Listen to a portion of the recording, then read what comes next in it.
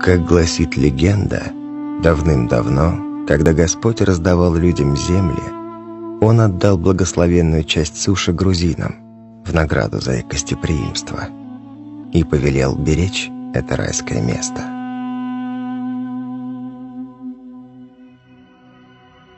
И действительно, местоположение Грузии уникально. Находящееся между двух морей, Черным и Каспийским, это небольшая и удивительная по своей красоте страна, с севера и юга защищена высокими горными хребтами.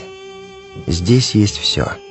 Покрытые снегом вершины и субтропики, альпийские луга и пустыни, густые леса, плодородные равнины и природные минеральные источники, воды которых творят чудеса. Богата эта земля и культурными традициями, которые бережно передаются из поколения в поколение. Главным национальным достоянием у грузин считается виноделие.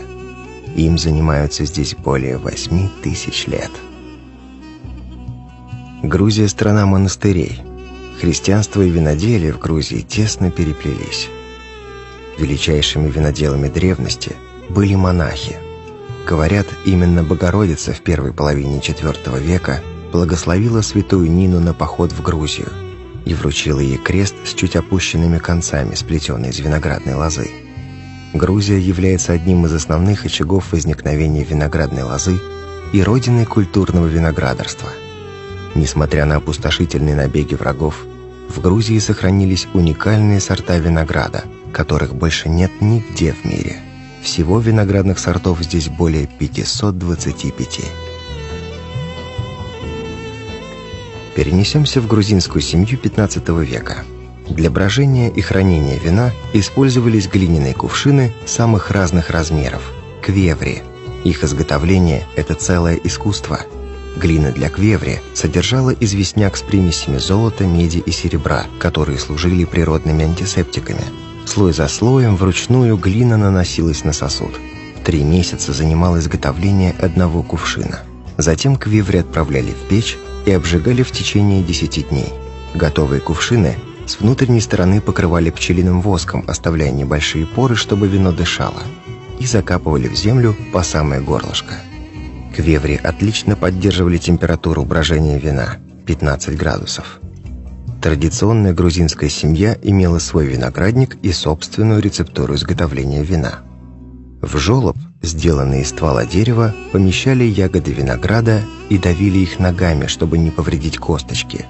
Через отверстие сок попадал в квевре, которые располагались в специальных хранилищах – марани.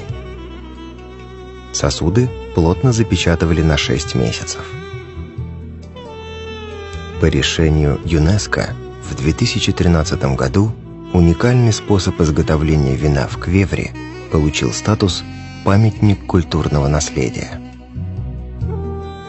Из виноградного сока и орехов также делали знаменитое лакомство – чурчхеллу.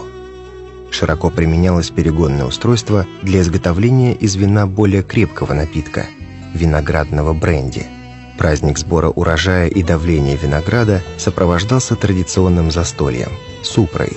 Обильная трапеза не обходилась без виноградного бренди, которое в нашей семье называли капцала.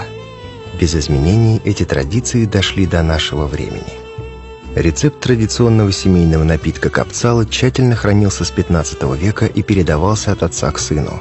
Этот бренди, или «жженое вино», изготавливается методом двойной перегонки в дистилляторе. Молодое вино нагревается на дровяной печи в резервуаре из меди, который нейтрализует вредные токсины. По мере прохождения по всем отделам аппарата спирт отделяется от вина. В итоге вкусовые, ароматные и целебные свойства вина переходят к бренди. Для окончательного развития и насыщения этот драгоценный напиток настаивали на грецком орехе – в течение всей выдержки контактируют лишь орех и бренди.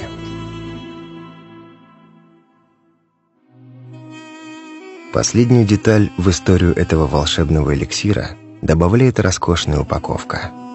Бренди разливают в бутылки, сделанные вручную и выполненные из знаменитого богемского стекла. Капцала дистелинг – монастырские традиции и непревзойденное качество –